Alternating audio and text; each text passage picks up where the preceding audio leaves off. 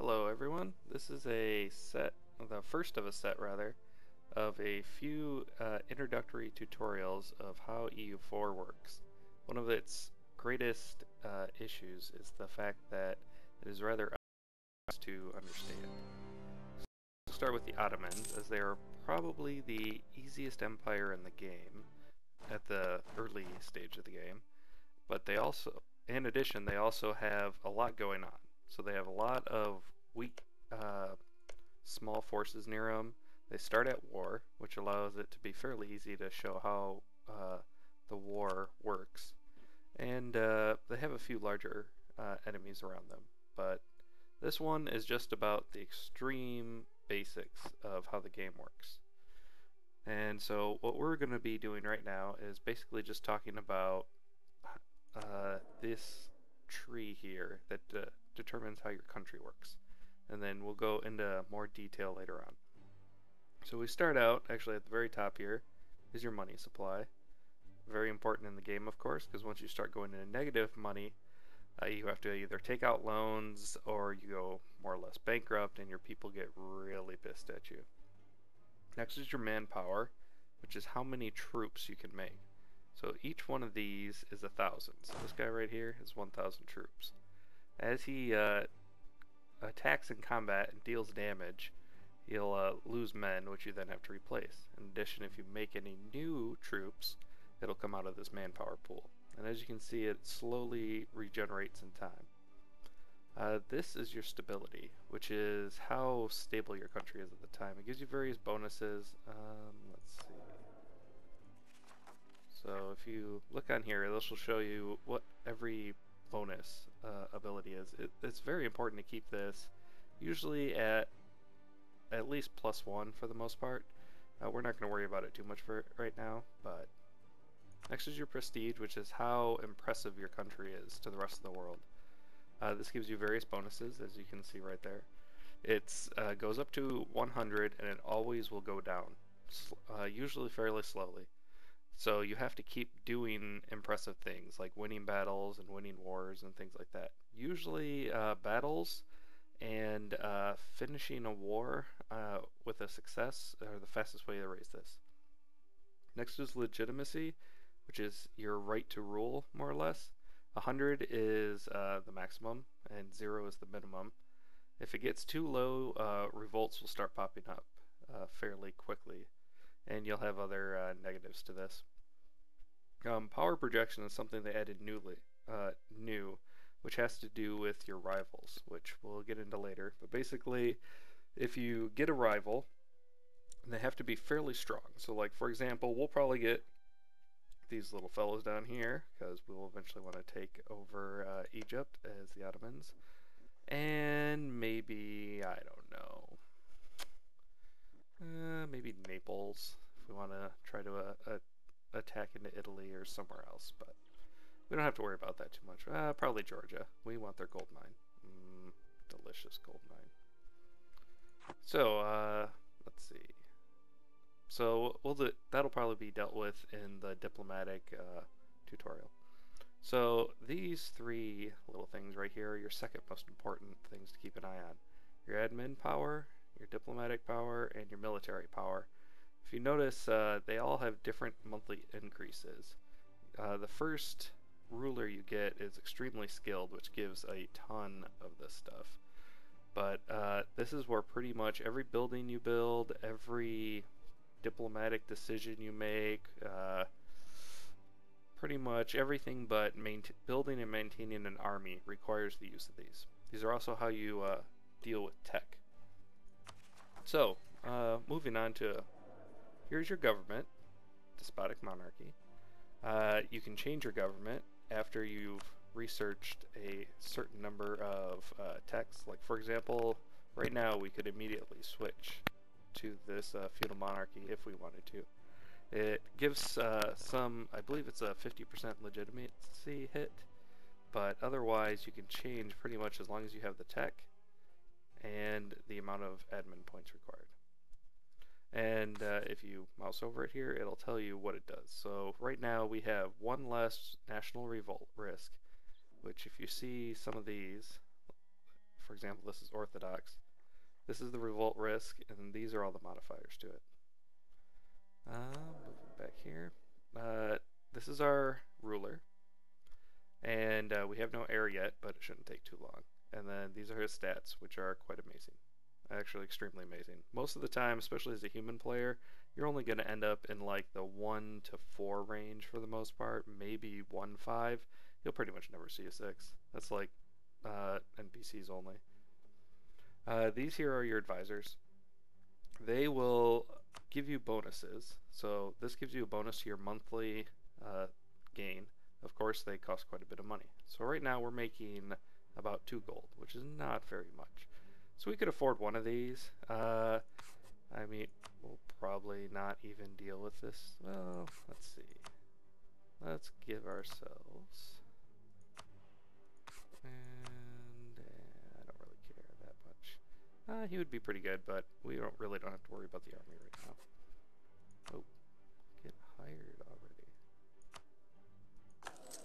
So now, if you look back up here, we have uh, our uh, Sultan in addition, an additional plus one now.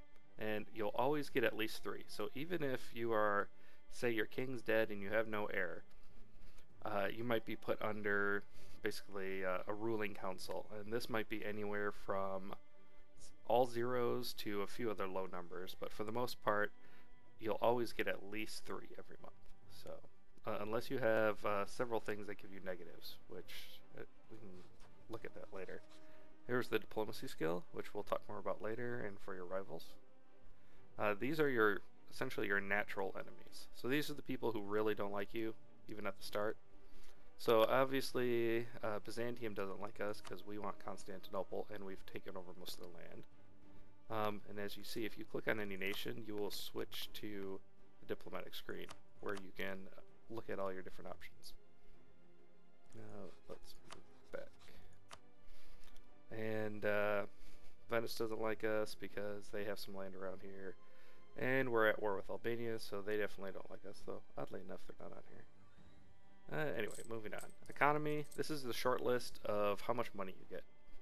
So every... Let's look at our capital here. So this 6 here is the base tax of how much you get per year. And then you see there's some modifications here, mainly based on your food. Or not food, but your trade item here.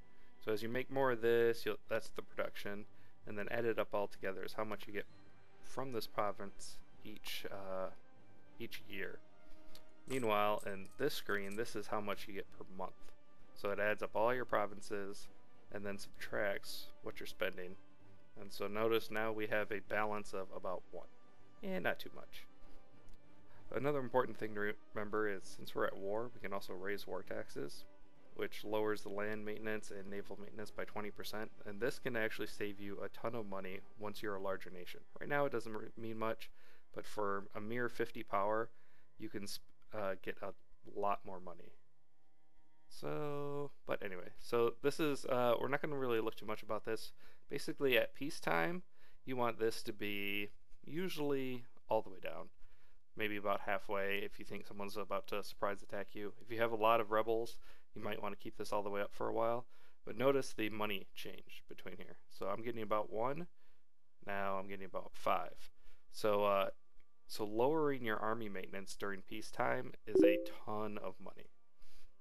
And it's very important, especially for smaller nations. Like if you play anything here in uh, the HRE, you're going to want to have that sort of uh, that lower amount when you're not at war, just to get some money. All right, going back. So here's trade. We're gonna gonna mess with this too much at the moment. As you can see, there's a lot of different stats here. Nothing too much you have to worry about just for this intro introduction, except you want to be collecting trade money, and we'll show you how that works later. Uh, technology. Uh, these are your different techs. As you get, so if you mouse over this, it'll show you. We have to get 748 power in admin here to be able to buy it. So this just keeps going up and up and up, and as you can see, we can keep 1,248 at so after we get 748, we could buy this to get a new uh, technology. And these go up to, I think, is it like 35? Uh, somewhere about around there. Maybe 32-ish, I don't know. But the high, th the low 30s is the max technology level. Ideas are things we'll get later, but here are all the different ideas. What they do is they, so actually the ne very next tech level here, we will get be able to pick an idea. So what all these do is give you uh, certain ways to focus your nation. So for example, we could get grab religious ideas fairly early to begin converting all of our land here uh, to our own religion. We could get administrative ideas for uh, this adaptability here, which is the core creation cost, which makes it much cheaper for us to take over land and then turn it into our own, which we'll get into a little later as to how that all works. Um, diplomatic, we, we have more uh, relations, so we can have more vassals and things like that, and also make it much easier to fabricate claims. Um, trade, of course, and if you want to explore the New World at all, exploration or uh, actually exploration in this case would be the the main one. Expansion is the other one, which I notice they moved over, but you can pick one or the other, and they're both able to move you further along into exploring new areas of the world. So as the Ottomans, we don't really care about any of that because we want to conquer uh, Asia, maybe Russia, Heck, mm, maybe Europe if we're really feeling like it. We don't have to worry too much though about uh, exploring the New World because we can get far more, far enough money just uh, controlling almost all the Mediterranean. And of course, uh, all the military ideas are very useful, especially any discipline bonuses, which make your armies much more powerful, or morale bonuses, which let them fight longer and thus do more damage to the enemy. So, um, that's brief overview ideas. We'll probably look at it more when we uh, check out the economy and uh, technology. So these are your missions. Uh, they're fairly related to what you're doing at the time.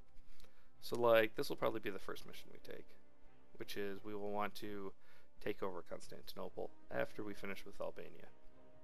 These other are uh, additional ones, and these policies here subtract uh, admin, diplo, or military power, but in addition, they give you uh, permanent bonuses as long as they're active.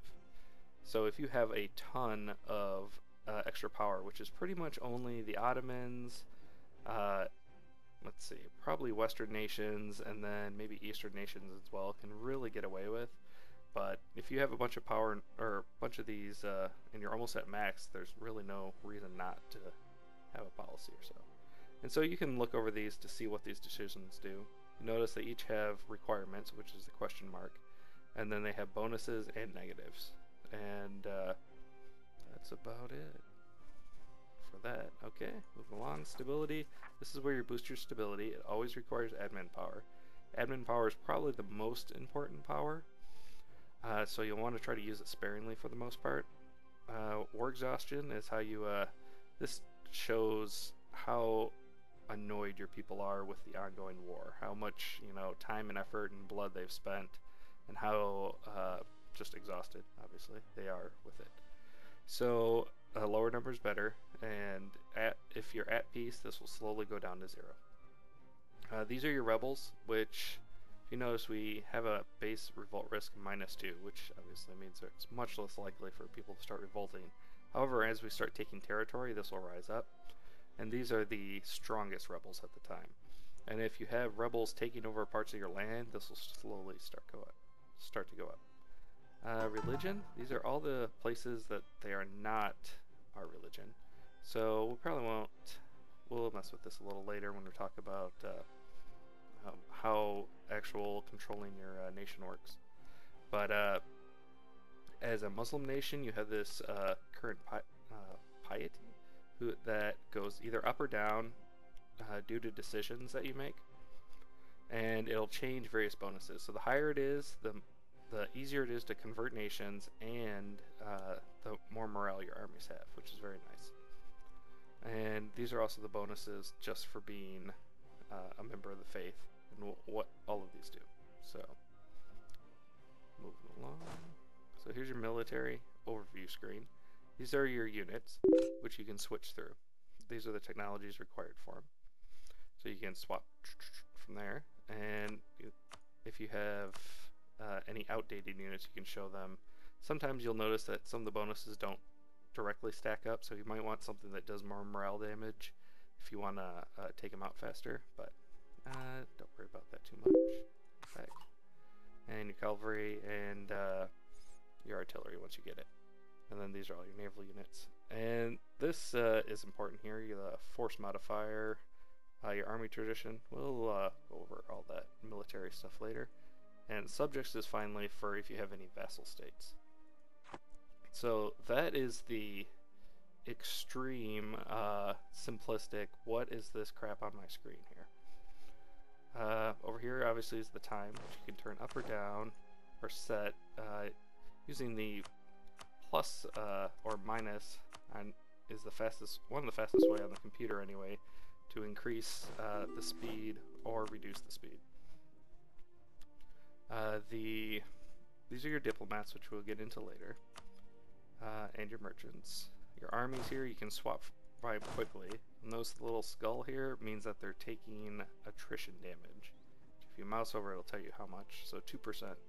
So you're losing 2% of all your troops in the stack every month, which is uh, has to be replaced. So I mean, sometimes you can just have them. And you'll always take some attrition damage if you're inside enemy territory. So that's usually one of the main reasons you want to invade with a large army and then try to conquer the land with a much smaller one. And these are where you can swap to your units fairly quickly here. And that is about all I'm going to get into for this uh, short introduction of how the how much of this uh, interface here works. We'll get into some how the different map modes and things like that later. All right, thanks.